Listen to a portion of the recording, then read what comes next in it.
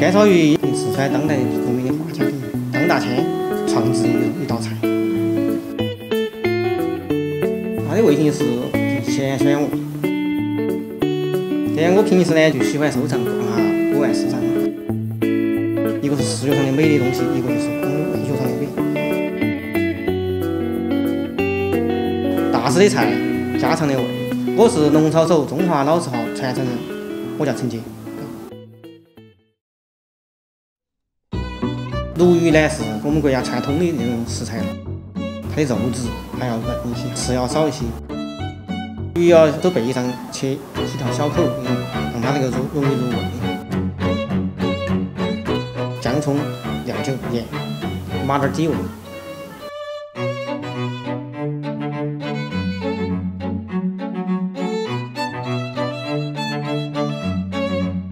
油温要高油温，油温低了它容易粘锅。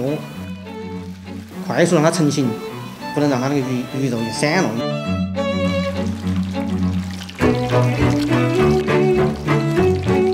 炸住它要定型，眼睛翻硬了，表皮要酥脆，有点金黄色。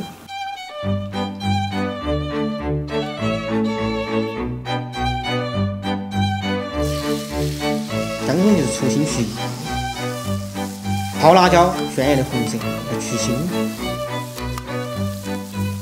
最特色就是四川的芽菜，它的最大的问题，它是因为芽菜的酱香浓郁。烂熟的猪肉臊子加进去炒，等汁汁和那个肉融合后，那肉末也有提出来的味道。等高汤嘛，肯定是增加点儿那猪肉汤的鲜味。然后来文火来收的后，慢慢慢刚刚芽菜的味道。泡辣椒的味道，姜葱的那些香味，慢慢慢慢就都在那个汤后头。鱼有自己的鲜味，慢慢慢就融合到一起了。文火收的情况下，就还是要加点儿盐，稍微是让它加点儿酱，加点儿那个味精。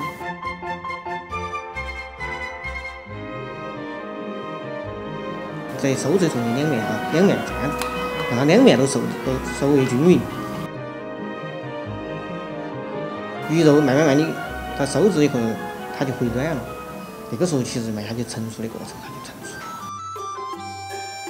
干炒鱼不勾芡，它是只需让它收干，的各种的味慢慢慢慢会融入到了那个鱼后头去。那个酱香是有点点回甜，因为它那个味道就很丰富。我们不但一定要继承前人的。的记忆，但是我们最主要的就是要把的我们在的味觉上的那种美的来奉献给大家。